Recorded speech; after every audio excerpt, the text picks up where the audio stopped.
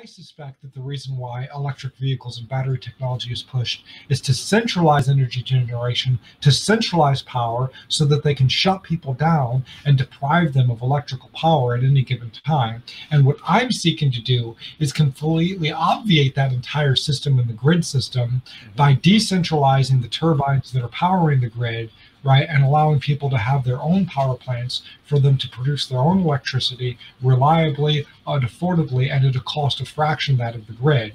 And so now we can take these engines, drop them under the hoods of cars and trucks, get upwards of 200 plus miles per gallon, possibly even more. Mm-hmm. And then what we can do is couple these to switch reluctance motor generators, and then we have onboard electric uh, regenerative braking and electric power assisted takeoff. And what's best is that these engines do not need a coolant system, which increases their reliability by 60% just doing that alone.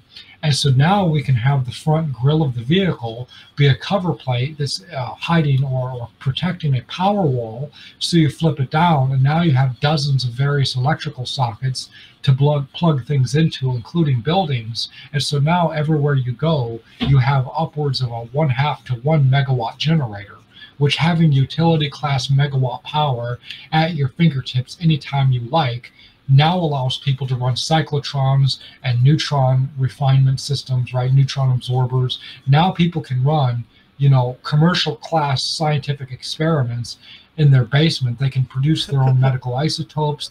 They can do all sorts of things, and nobody can stop them.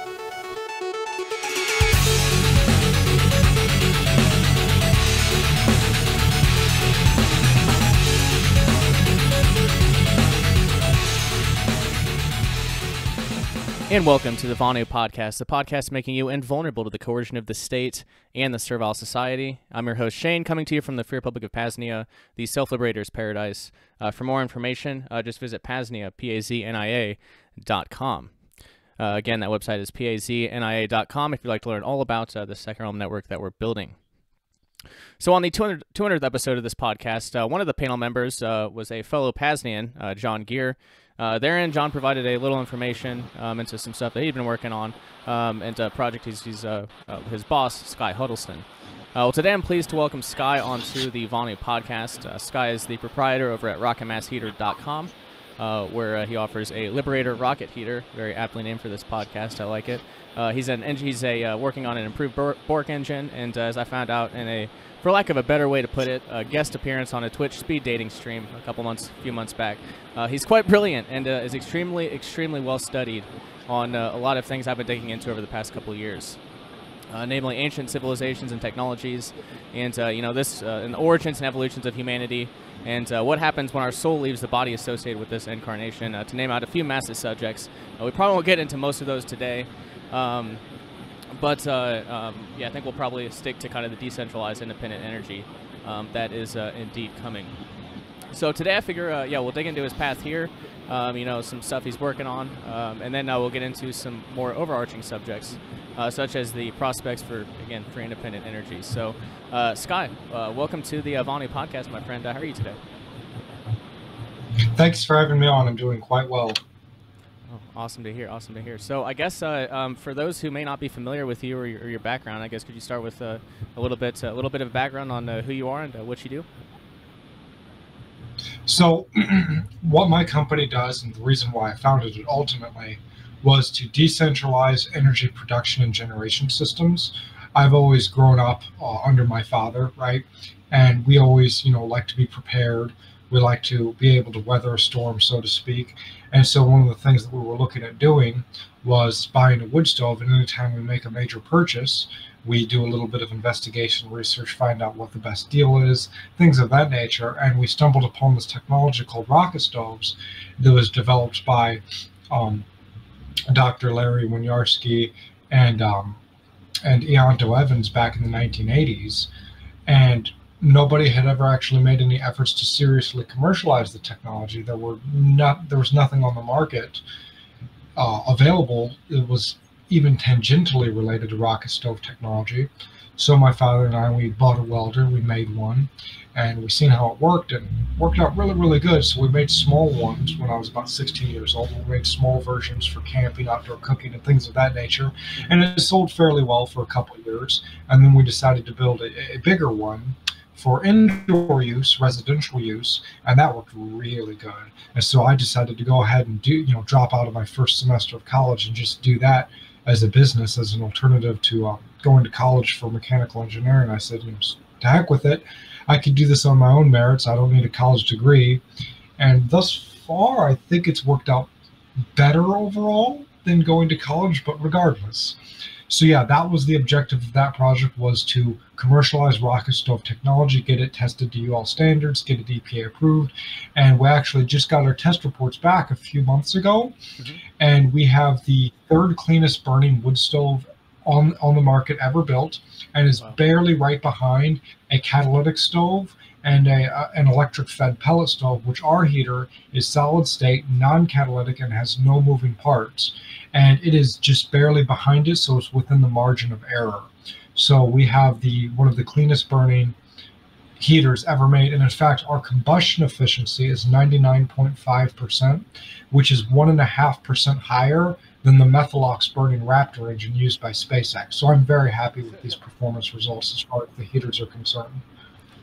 Yeah, yeah, that's uh, that's definitely that's definitely incredible, and uh, we'll be we'll be building a, a, new house here this year uh, at Paznia, and uh, we definitely do plan on making a Liberator rocket heater. Um, you know, a core part of the uh, the basement there. Um, we're already planning it into the into the design.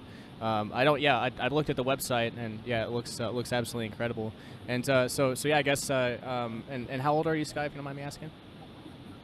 Oh I'm 27. 27. Wow. Okay. Um, so yeah, you're you're younger than me. Um, so I guess um, I, I, mentioned before, um, I guess in the introduction that you that I'd heard I'd heard you on that uh, on that Twitch stream, and you, you covered a lot of uh, really deep topics, you know, ancient civilizations and technologies. Um, you you, you kind of gave your, your path to, to the Liberator rocket stove. Could you, um, I guess, tell us a little bit about what got you interested in some of those more overarching subjects? So I had a, a plethora of mentors throughout, you know, my my early career and I'm not going to name this particular person, but he was a very is a very very intelligent person, and I'm I'm very lucky to have him as a personal friend and acquaintance, and he really opened my eyes to a lot of the uh, the objective truths and the metrological data regarding a lot of the ancient antediluvian masonry structures and their patterns. How should I put this? They have identical methodologies of construction throughout the world that we don't even see today that would be exceptionally difficult to reproduce even with modern technology. Take, for example, the large H blocks at Pumapunku, which is within the Tiwanaku archaeological site. And these stones, a lot of these stones have very precise rectilinear grooves cut in them that are perfectly parallel, square, and perpendicular to the faces of the blocks themselves and have approximately six millimeter holes um, drilled equidistantly spaced at the bottoms of these recessed grooves. And making a six millimeter hole approximately a foot deep inside solid stone and having no deviation, walk, or wobble in stone is something that would be exceptionally difficult to do even today. Right. Right. Yeah, that's. I mean, uh, there's a lot more to these ancient structures. There's a lot more to these ancient structures than just that. They're they're perfectly fitted, right, and, and not just rectilinear. They a lot of these structures are polygonal in shape. So it's almost as though they were sculpted or, or put into a clay or plastic like consistency and then stacked atop each other, right? And then they're so so fitted. It's hard to describe without photographs, right?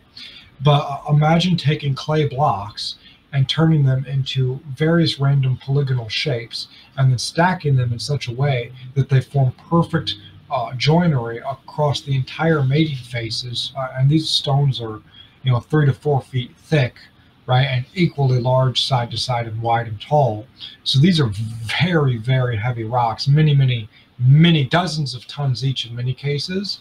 and they are perfectly fitted, which again, we can't even do that with today's technology and not in bluestone granite. What a lot of these structures are made out of is, is limestone and bluestone granite. Another case would be um, the casing stones of the pyramids, uh, specifically the Giza Plateau. Dr. Joseph Davidovits, who is a world-renowned French material scientist and researcher, he subjected the casing stones to X-ray scattering spectroscopy, and he found carbon fibrous inclusions and entrained air bubbles in the limestone, which does not exist in natural limestone.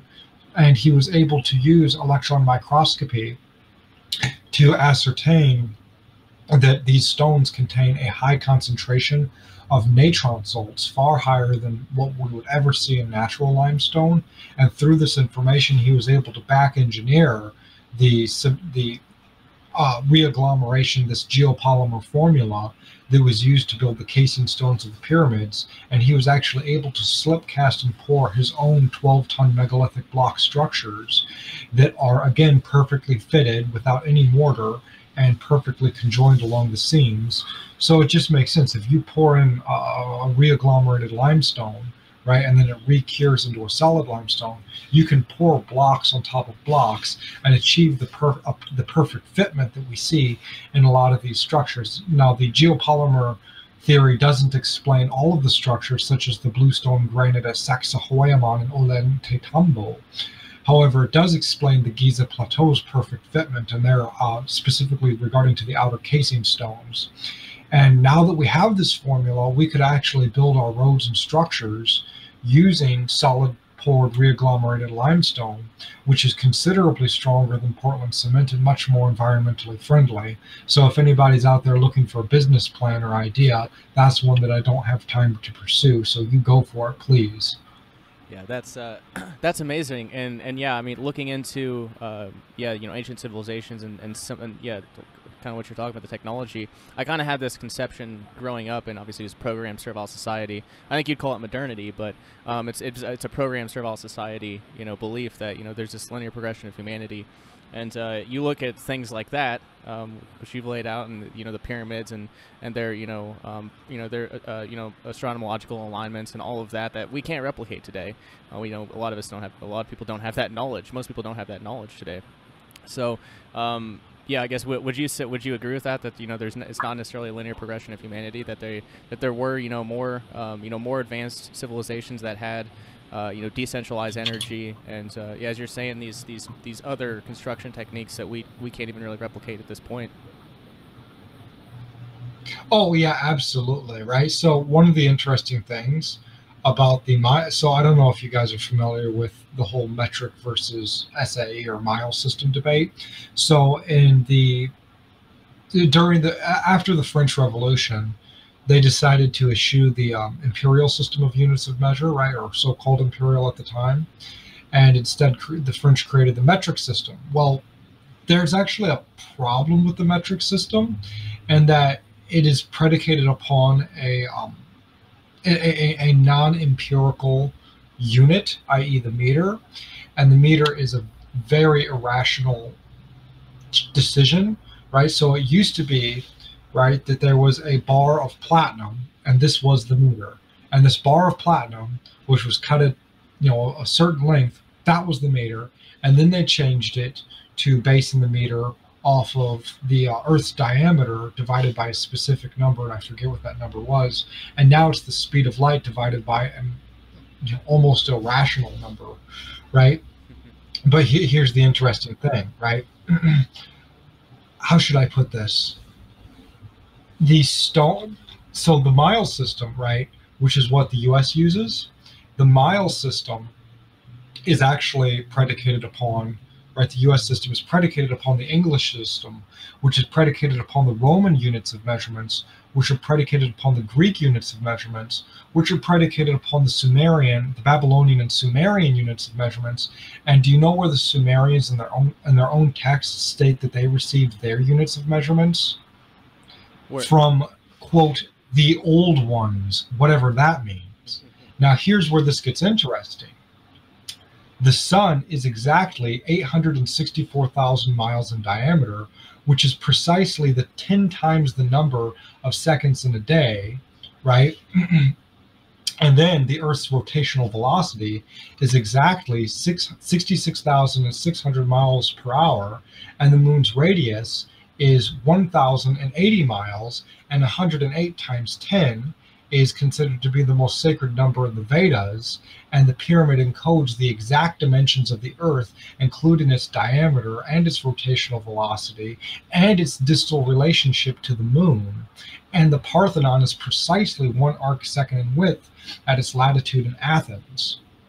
So they had whoever created this unit of measurement system was able to determine the diameter of the sun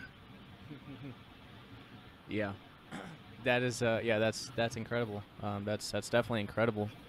Um, yeah, mind blowing. Don't don't really know where to go um, where to go from that one. But but yeah, I mean that's that. It's it's crazy to it's crazy to think about. Um, it's definitely crazy to think about. So I guess what since we're we're kind of on this subject, um, what would I, I, I heard you mention um, again that uh, that Twitch stream that uh, you know like there's different uh, you know there's different ancient te- technological trees um, could you speak a little bit more to the, the various, I guess, technologies that you've come across that, that you've found uh, that from ancient civilizations that you've taken an interest in, whether just, you know, hypothetically or theoretically or whatever?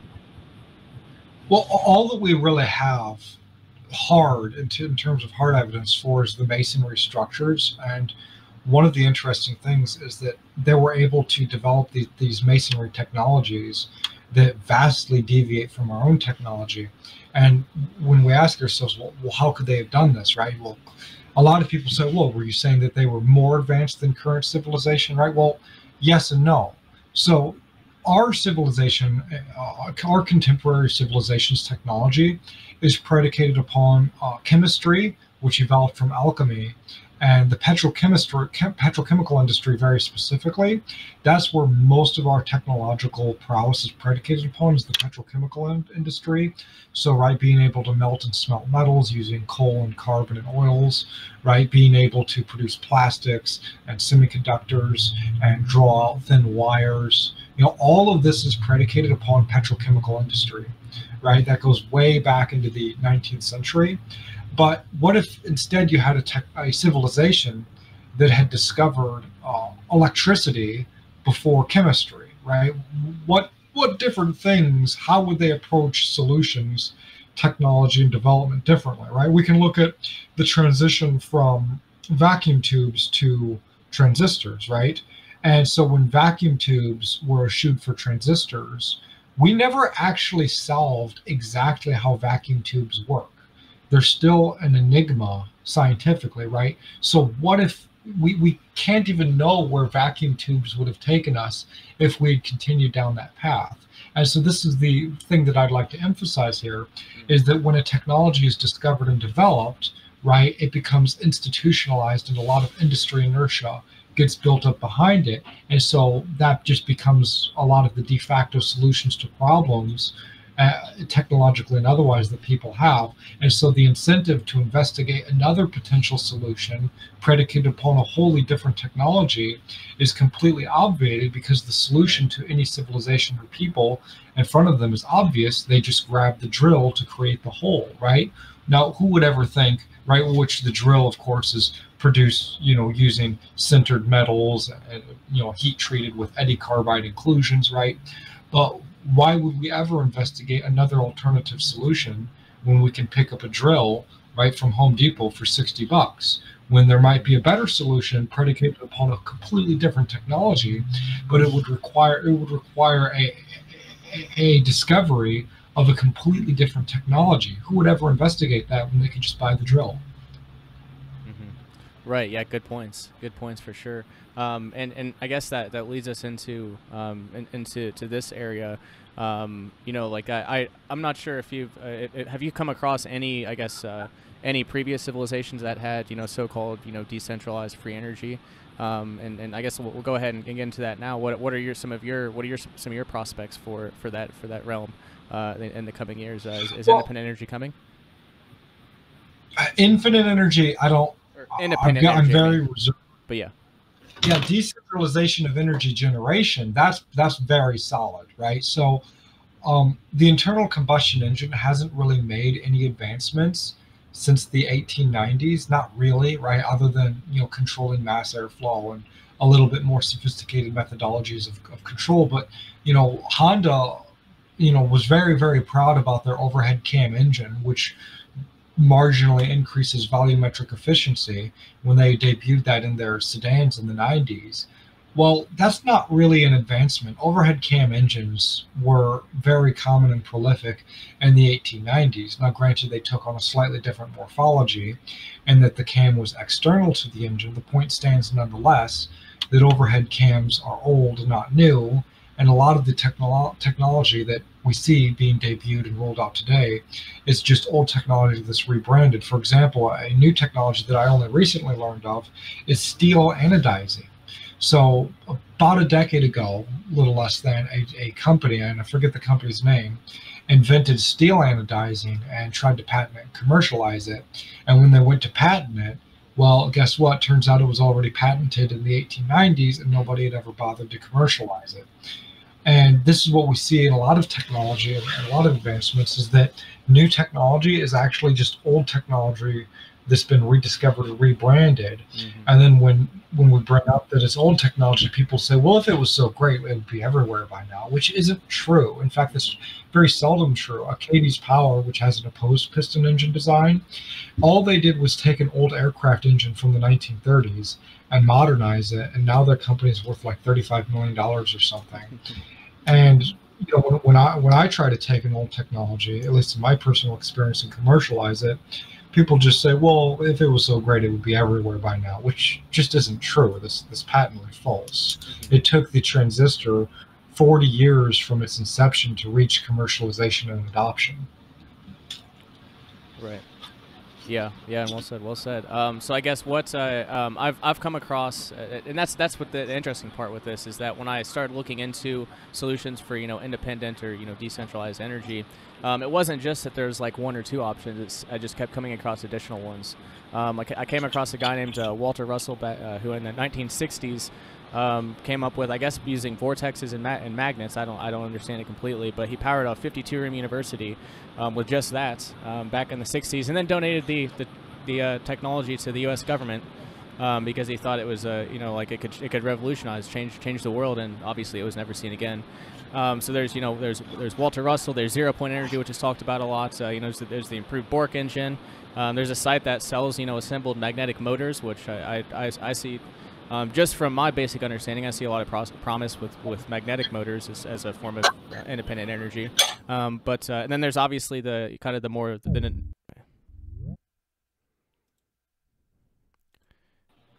right, are we back? Okay, yeah, we, have, we there was a technical glitch for some reason. I'm sorry. oh no, no problem at all. It's like we we got it back going, so as uh, all that matters. Um, so yeah, I was I was mentioning uh, the various some of the various um, free energy or I guess independent energy solutions I've come across. Um, and I was just going to mention um, the last one being, you know, the, the ones that, you know, Nikola Tesla's, um, you know, uh, credited with a lot of these sorts of innovations. So from um, from what you've looked into as, as far as uh, promising prospects um, in this realm, what what uh, is, are there any technologies that really really uh, that you're really really interested in?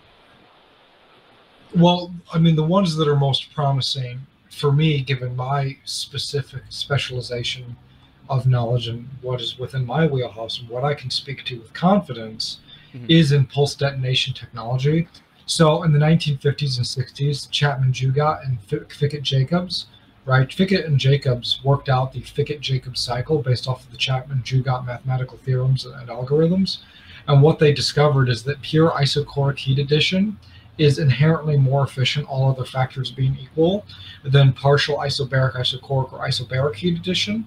And so this what this means is that the Otto cycle thermodynamically is actually more efficient than the diesel cycle. But the only reason why our diesel engines get more miles per gallon than the Otto cycle engines is because they can run much higher compression ratios than conventional Otto cycle engines, so they become more efficient overall, even though their thermal uh, their thermal efficiency is much lower than the Otto cycle engines, and they also burn heavy liquids which is why largely why they're isobaric is because the flame forms propagate very slowly.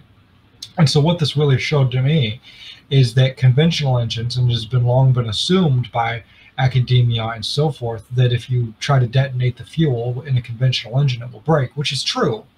However, there are engines out there, engine designs that do detonate the fuel. And in fact, when it comes to open cycle engines, the US Air Force has spent billions of dollars trying to create a pulse detonation, and rotating detonation wave engine. And that's because they know that isochoric heat addition is inherently more efficient and more powerful than isobaric heat addition. And what's very interesting is that it is exceptionally difficult to achieve pulse detonation in an open cycle engine for thrust, which is what the Air Force is going for but it is exceptionally easy to achieve detonation in a closed cycle engine such as a piston or rotary engine for shaft horsepower. So easy is it, in fact, that we have to put in octane additives to increase the octane rating to prevent detonation of the fuel in the engine because it will break conventional engines, which I find to be pretty backwards are engines that are very easy to detonate fuel. We assume we don't want detonation. In the open cycle engines, where it is exceptionally difficult to achieve reliable pulse detonation, we're spending billions of dollars trying to achieve.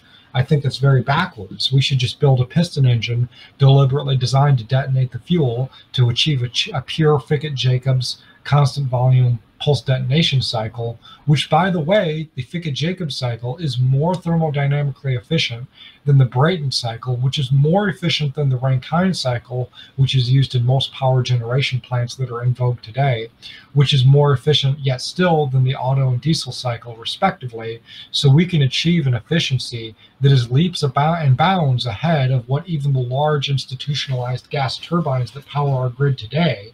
We can achieve a higher efficiency and a much smaller package with much simpler components and a higher degree of reliability in a way that decentralizes energy generation. And so now, instead of having to buy electricity, which is 10 cents per kilowatt hour on average, and by the way, electricity is one of the most expensive forms of energy money can buy. Uh, e- even gasoline per BTU is cheaper than electricity. It's just that our engines are so horrendously inefficient that it becomes more expensive to run a gas engine than it is to buy electricity from the grid. But now, once these engines are developed and commercialized, now it's actually cheaper to produce your own power using natural gas, gasoline, diesel, etc., than it is to buy electricity from the grid. And so this will force the grid to actually adopt nuclear power generation to stay solvent. Interesting. Yeah. Um, yeah, very, very interesting. And I guess the, the overarching thing that comes to mind for me, and I'm not sure what your, I guess, uh, your so-called politics are or whatever, what your, your view on, on government and, and what I call the servile society is. But, um, I mean, you look at like uh, um, the super inefficient, you know, like 20, 25 miles per gallon vehicles. I, um, and, and you look at, yeah, again, just the inefficiencies, inefficiencies all around. And then you have, uh, you know, the, the, the, constant propaganda about climate change and how, uh, but even though we're using the most inefficient technology, right? Um, so it's it's. it's I it's, would like to point mm-hmm. out. I would like to point out that the Model T. I want you to guess how many miles per gallon the Model T achieved. How many miles per gallon did the Model T achieve? Probably 25 miles. I, I don't know, 20, 25. Probably probably probably about the same. It, it averaged between it averaged between 19 and 21 miles per gallon, and this vehicle was designed in 1906. Right. Exactly. Yeah, and that's so. And I also came across a guy named George Wiseman who, just for um, for it's a it's a he used to sell the kit pretty cheaply on his site, but it's just a, a carburetor upgrade, and uh, he could take just just for a super small pittance, it's like take a 20, 20, 20 mile per hour, 20 mile per gallon vehicle up to like 200 miles per gallon. Um, so like it's just everything is everything is such a scam. Um, at least it's that's been my um, my experience. But uh, I don't know if you have anything to add there. I, have read I've, I've read George Wiseman's books, and his books is a large contributing factor that got me interested in this technology. Oh, cool. And his 200 mile per gallon, it was a um, 1960s GMC truck, if I recall correctly from the book. And he was able to achieve, yes, 200 mpg using a conventional 292 straight six, if I recall correctly. However, it was an exceptionally complex design that would be prone to explosion if ever there was an accident or failure of the materials or etc. However, I do know how he achieved it, and he achieved it through thermal catalytic cracking and, he, and adiabatic heat reclamation. And I figured out a way to do that in a much safer way that's much more reliable, much more consistent, and doesn't require active monitoring and adjustment because it phase changes the material into a supercritical fluid, which allows us to then drop the fluid, drop the um, pressure into a pressure reducing regulator and vapor accumulation tank, which is set as a specific pressure, such as 150 psi or whatever we want to use for any mission profile and so now we have a consistent fuel. And what this means is that we can put any combustible liquid into the tank, including a mixture of combustible fluids, such as gasoline, diesel, crude oil directly from the driller, waste motor oil, waste vegetable oil, coal water slurries, charcoal water slurries, uh, waste ketones and waste paints and thinners, waste you know brake fluids you name it any combustible fluid goes into the tank and a consistent product of hydrogen and carbon monoxide, specifically monatomic hydrogen, which is far more efficient at combustion than double bonded hydrogen. And that goes into the vapor accumulation tank, which then is fed into the intake plenum. And so now you have a true multi fuel engine that does not require any adjustment, irrespective of what fuel or mixture of fuels you're using. Incredible, yeah, and I'm glad I'm glad you brought it up because that that was uh, I guess another angle I'd been i I guess I'd, I'd learned about uh, um, what Stanley Meyer's hydrogen car, and then I, I'd, and then yeah that you're talking about monoatomics, um, monatomic hydrogen. Um, is that would that be the would that be the same thing as the electrically expanded um, electrically electrically expanded water um, being used for fuel? Is that kind of the same concept? You're just I guess changing well, the input. It could be. It could be. A lot of Stanley Meyer's technology has been shrouded in mystery and myth, and a lot of it has been lost after his unfortunate death. But uh, what we do know is that when monatomic hydrogen burns, it releases far more energy than standard double bonded hydrogen gas. And there is a very specific reason for this. And the reason is that hydrogen uh, uh, in its natural state, hydrogen gas, bonds to itself. So you'll have two hydrogen atoms that are that are double bonded to each other and it takes energy to crack these two hydrogen atoms apart before they can bond with oxygen and release more exothermic energy right but if we can use catalysts and high temperatures and super and pressures to create a supercritical fluid and break this double bond apart into a monatomic hydrogen gas where the uh, hydrogen atoms exist uh, independently of each other. Now we can release far more energy because we're not wasting the energy to break the double bond of hydrogen gas apart before burning it, which the same is true, by the way, of all hydrocarbons. It takes energy to break the carbon nitrogen bond, bond the carbon hydrogen bond, and the carbon carbon bonds. And so by phase changing the fluids into a supercritical fluid and then cracking these bonds apart using reclaimed waste heat and catalysts to reduce the amount of energy that is required to break these bonds. So typically in a normal engine, when you inject the fuel, the fuel has to vaporize, which vaporization, just like how sweating cools your body down, when the fuels vaporize, which they have to vaporize before they can crack the, the bonds, that robs energy from the engine, right? Because when you vaporize the fuel, it phase changes into a gas, which sucks up energy. And then you have to break the bonds apart using heat, which pure thermal cracking requires far more energy than catalytic cracking. And so now that robs even more heat. And then after everything is broken apart, now all the carbon and hydrogen can finally bond with oxygen and release its exothermic energy. But all those reactions before, preceding that, were endothermic and heat robbing. And so by using waste heat from the exhaust and catalysts to reduce the amount of energy required to crack these bonds, we can greatly increase the effective energy density of liquid hydrocarbon based fuels by potentially exponential amounts. And so now that we've re- increased the amount of energy that's extractable from these liquid fuels by upwards of 50 to 100%, possibly even more, now, sorry about that.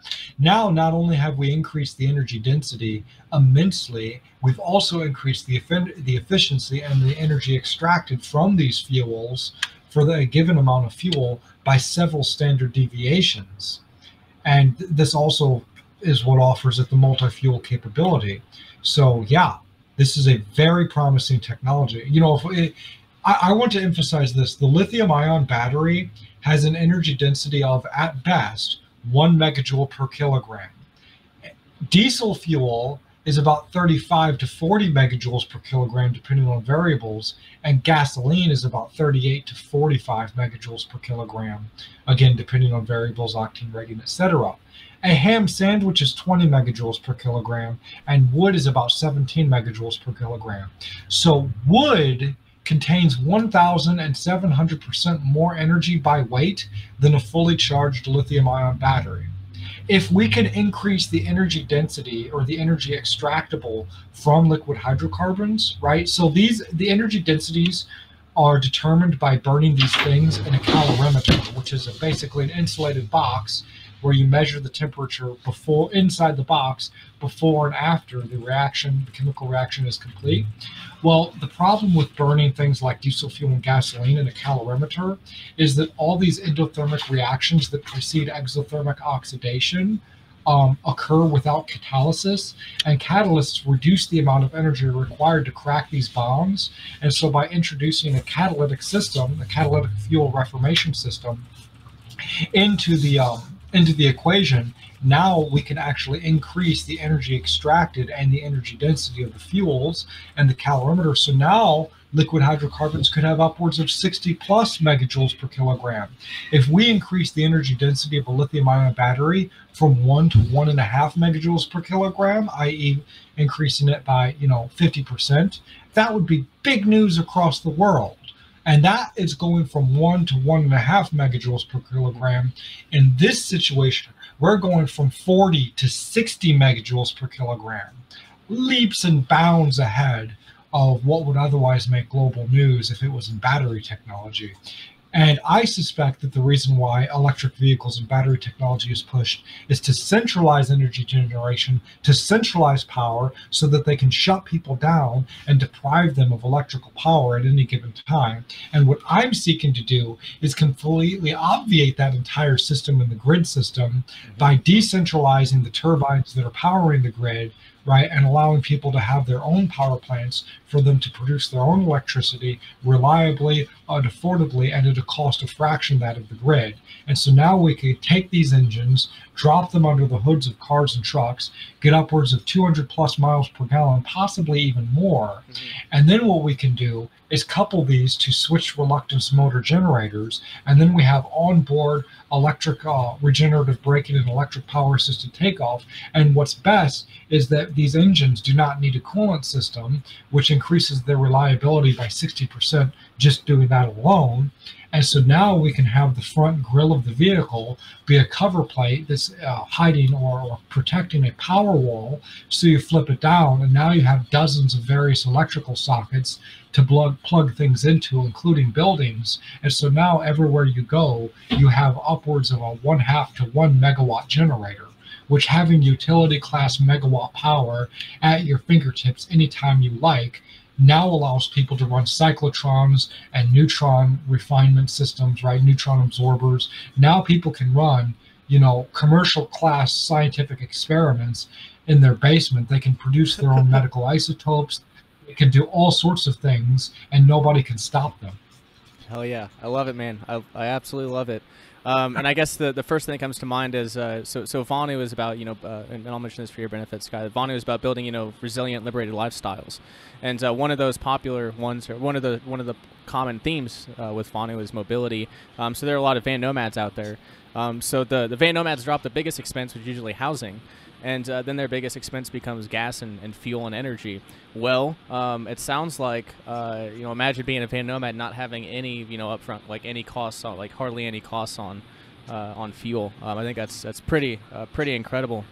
And uh, um, I, let me put it like this: with the thermal catalytic cracking system that I'm developing.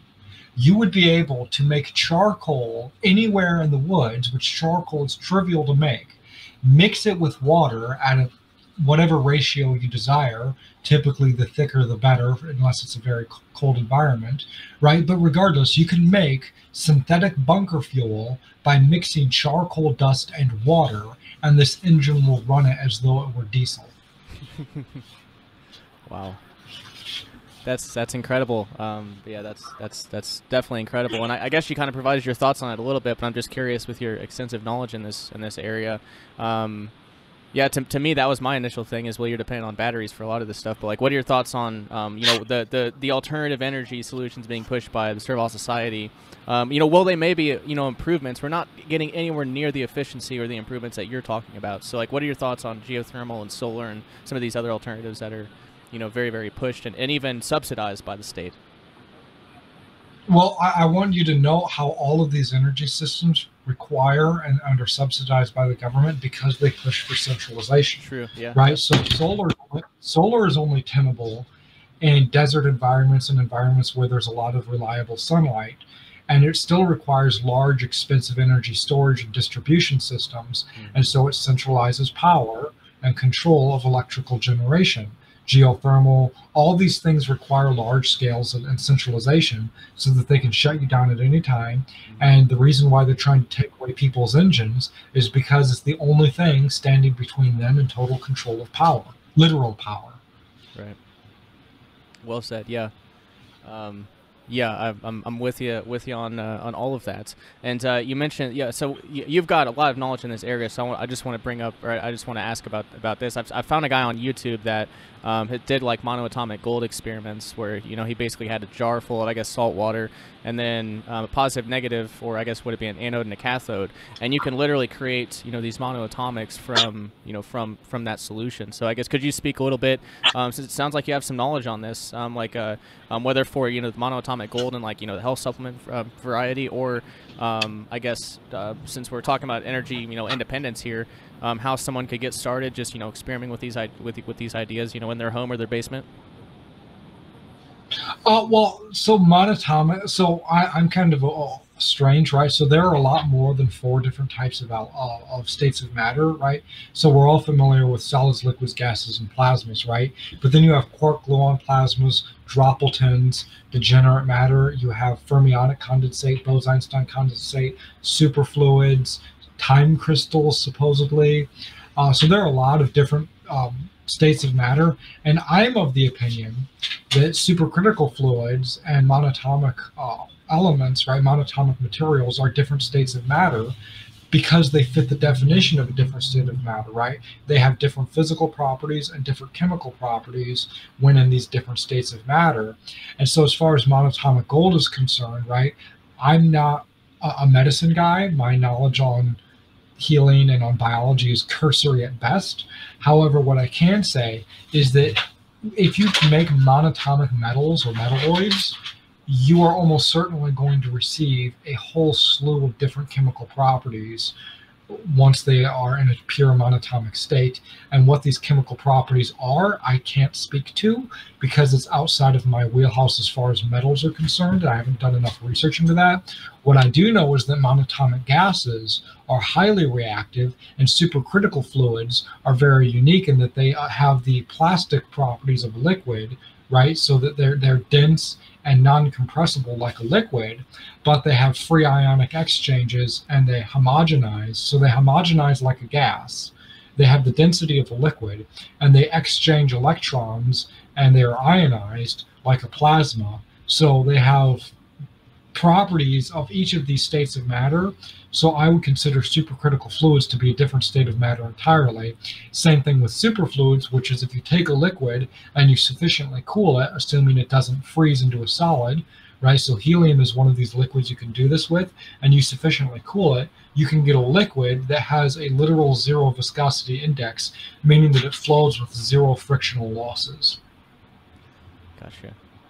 Okay, amazing. Um, uh, yeah, I, I, love it. So yeah, I, I, came across the monoatomics realm. Um, John mentioned in the in the 200th episode about potentially being able to generate, uh, you know, monoatomics from salt water. He has he wants to live on a sailboat. But we want to live on a sailboat at some time too, and uh, you know, generating uh, you know energy and you know. Um, I guess uh, commercial operations on the uh, you know in saltwater with monoatomics is seems to be a really incredible viable option. And, and yeah, I take a supplement with with mono. It's got like a dozen monoatomics in it. Um, and uh, I, I, I, don't know I don't know a whole lot about it. Can't really explain it too well like you did, but um, I, I, see a lot of a lot of potential there, um, a lot of potential, and that also ties in with, with George Wiseman again. Um, he basically he converted the technology, the electro, electrically expanded water, um, and the hydrogen water, and he he sells an AquaCure machine. Um, which is yeah, inhaling Brown's gas essentially. Do you, do you know anything about Brown's gas? It's, it's the same the same thing as we're talking about here, right? Yeah, I, have read a lot of George Wiseman's books. In fact, I was at the ESTC conference um, in last year in July, in 2021 in July, and I met George Wiseman's um, protege, um, and he had one of the Brown's gas generators. The um, it's certainly very interesting technology. Like I said, this is all bleeding edge research, mm-hmm. and we need to do a lot more investigation and a lot more experimentation into this technology to really see what its applications are and where it can go.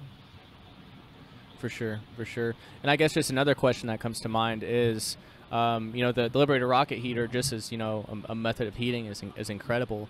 Um, but uh, um, and I'm, I don't th- I'm not sure if this overlaps overlaps with yours. I don't think it does, but I think it was mentioned. I was talking talking to John about it. Maybe someone that he met at that conference too. But um, you know, putting a Tesla turbine, whatever that is, I don't know what that looks like or entails, but a so-called Tesla turbine onto um, like a rocket heater like that, um, and using that to generate you know generate power too. Is that is that possible with it being that efficient?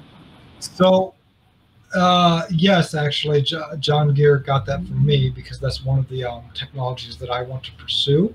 I can't go into detail as to how we're going to execute that, but what I can say is that the final end of this morphology is going to be an internal combustion, solid fuel, any fuel burning gas turbine engine that can turn over a generator. And so now you can, using wood, trash, burn even plastics cleanly, and you could produce anywhere from 5 to 10 kilowatts of continuous output power using a wood stove with standard wood stove consumption rates of anywhere from 80 to 110,000 BTUs. And so this is a very promising technology for wow. decentralized energy generation. Yeah, yeah, it's definitely definitely sounds like it. Um, definitely sounds like it. I, so, so I mentioned we're, we're, we're going to be uh, you know building a place here, and we're, we're going to look into we've got a we have got a pond we're going to expand. So we're going to look into geothermal. As we're we're kind of taking transitionary steps. Um, propane being one of them, and then and possibly solar. Geothermal, geothermal is very good. Geothermal is very good. Um, solar is good as a backup because mm-hmm. solar is so, solid so I wouldn't invest a lot of money into solar. I, I, I mean, right? People's budgets are different, right? Budget what you can afford.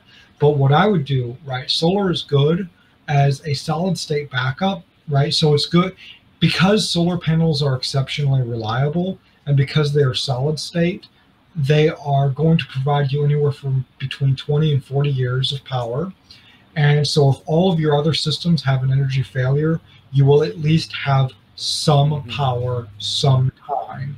And what I so the biggest cost with solar panels really is that they require expensive rare earth elements to produce, right? And these rare earth elements come from monazite sands. And the problem with monazite sands, as far as the mining perspective, is that most monazite sand deposits in the world have high concentrations of thorium that dilute your rare earth element deposits, which is what you really want to go for, right? But once we can commercialize fifth generation molten salt reactors that can use thorium as a nuclear fuel, now all these monazite sands suddenly become tenable and economical to mine. And so the price of solar panels and, and permanent magnet motor generators, as used in wind turbines and high efficiency electric motors, will shoot through the floor. And so now it will become just as economical to use solar panels for your roofing as we do steel or asphalt shingles today. And so now all of our roofs can be solar panels, and we don't really have to care about how much energy they put out, right? Because they're just as cheap to install as asphalt shingles. Right. So who who gives a damn? And this is one of the things that when you get into decentralized energy generation, right? This is one of the unique things about it is that the more energy you have and the more energy power and generation systems you have the easier it is to make more energy and it compounds upon itself. So nuclear power plants that run on thorium obviously decrease the cost of energy immensely right? And now the cost of manufacturing solar panels goes so far down because now we have access to all these cheap rare earth elements. And so now it's just as cheap to put up you know solar panels instead of asphalt shingles for your roofing. And even though you don't need it because we're all you know running on nuclear power fuck it why not? It's just as cheap. And so now that makes energy even cheaper makes energy even cheaper. And so now we can do things like instead of running batteries which are really expensive right? Now we can run Sabatier reactors in our backyard and just dump our excess energy into you know water and carbon dioxide from the air and recombine it back into methane gas and store them in large gasometers distribute it throughout the natural gas distribution system. And so now gasometers in the natural gas supply lines now become the new de facto battery for energy. And we can have our own personal gasometers coupled with collective gasometers. And so now it has all the benefits of centralized power distribution and generation with all the advantages of decentralized power. And so now when it comes to storms and natural disasters, no longer a problem. Everybody has all the energy they need. Incredible. Um, incredible. So I, I guess would, the... I would like to emphasize I would like to emphasize mm-hmm. that transporting natural gas via the natural gas supply chain, supply lines, are way more efficient than the electric grid. So the electric grid, you get about a 30% line losses just in the distribution. Natural gas supply distribution is 99.99% efficient. Gotcha. Gotcha. Um, so I guess you you you uh, answered part of my question there. Um, the the I, I guess uh, I, I, appreciate the insight on geothermal um, and and also solar. Yeah, solar is not necessarily it's it's not definitely not a primary, but um, we're considering it just because you know yeah you got to put shingles on there, and if you put solar on there, why not? Um, but, but regardless, I, I, I and I know time time frames are hard to put on these, whether it's whether it's your whether it's your project or or just generally speaking. Um, you know, how long do you think it'll be until um, some of these solutions are more commercially or you know more easily available to the point where there's you know a tutorial on on how to you know how how individuals can do these things themselves? Well, I mean, it depends on what specific technology we're talking about. But what I can say with a high degree of confidence is that all of the technologies that I'm working on will be commercially available within approximately five years. Awesome. That's uh, that's possibly soon. Great, fantastic, man. That's that's uh, it's really really incredible to hear. Um, yeah, I, I, stumbled across a lot of these topics a few years back, and I and when I when I realized. Uh, you know, like food's obviously important, but if uh, you know we can decentralize energy energy production, um, like that's the main that's one of the main sources of control on the Servile society right now is uh, yeah is energy. Um, and uh, and that would be a, a, major a major step in, in the direction of freedom if um, you know we call it the Paznia the second realm network if um, you know um, these things just like uh, you know proliferate everywhere before uh, you know those who falsely imagine themselves be, uh, to be our rulers until they you know before they know what what hit them and uh, you know technology is decentralized or you know the energy is decentralized and I think that'd be a really really really incredible, and even just on the self-sufficient angle too. But um, we've been going for, for about an hour here. Um, I want to give you a chance to uh, to talk, uh, or I guess uh, mention anything else about uh, you know the uh, about your your your uh, current entrepreneurial venture, the the Rocket Mass Heater. Um, it's rocketmassheater.com is the website for that, and I'll put a link in the show notes. But um, is there anything else you want to mention in regards to you know what's um, in, in regards to that? Uh, no, I just we're, we're taking orders right now. There is a huge backlog because of the high demand, but we are taking orders. So if you're interested in a you know wood stove or pellet stove that can burn both pellets and wood with a high degree of efficiency, our website's rocketheater.com or rocketmassheater.com. We have both domains. Mm-hmm. And so yeah, that's basically it. I appreciate your time. Awesome, awesome to hear, man. Um, and uh, yeah, I'll have to have to get you back on at some other point. I mean, it might uh, might not necessarily be on the free energy topic, but I would like to dig more into it's it's something something I'm looking into because the more I, the more I study the past and history, the more I learn about like that's how I came across a lot of these free energy topics. Um, was by you know studying what's been what's been done and known before. So um, maybe at some point we can get you back on to to dive more into uh, you know, I guess uh, looking back, uh, um, looking back. But uh, anyway, for now, we'll, we'll, we'll leave it there. Um, thanks so much for your time, Sky. And uh, um, like I said, we'll we'll, we'll probably be placing an order for a rocket mass heater here sometime, sometime soon for the for the for the new what we're calling the embassy here at the Free Republic of Paznia. So, um, anything else, Sky, before I let you go? Nope. Thank you very much. Awesome. Man. Well, thanks. Thanks a lot. Um, all right, guys, and there you have it. Sky Huddleston, uh, RocketMassHeater.com. Yeah, just uh, truly, truly an incredible, incredible conversation. And I uh, do hope you enjoyed it and uh, uh, and found it valuable. Uh, VonuPodcast.com is the website for everything Vonu. And yeah, as always, always remember uh, Vonu is yours for the making, and the second realm is yours for the building. cheers. 2048, the second volume in the Brushfire thriller series takes place in the not so distant future. In the second half of the 21st century, the War of Ideas took place. The creation of second realms and individualist decentralized freedom cells spread across geographical regions, and the practical ideas of liberty, voluntary interaction, and peace took hold. The Free Society in 2048 is loosely based on Samuel E. Konkin III's phases of agorism, in which the destruction of the state would be realistically accomplished through the establishment of pockets of free individuals, black and gray markets, and the spreading of the ideas of freedom and liberty, until the demand for an overarching state was no longer perceived as essential, and individualism and voluntary interaction prevailed. The original creators of the Freedom Cells who led the world to a better place are still scattered about, living their lives, including Maxine, the late Henry Tucker's love, and the now washed up but stubborn punk rocker Warren, still reside in the Appalachian Mountains. Maxine's nephew, Vince, and his boy Tommy, who had been band nomads ever since Tommy's mom left to pursue a materialistic quest for fortune in the never ending rat race, went to visit Auntie Max on her homestead on Jim Mountain Road. Although Max is very happy for the visit, she has an ulterior motive.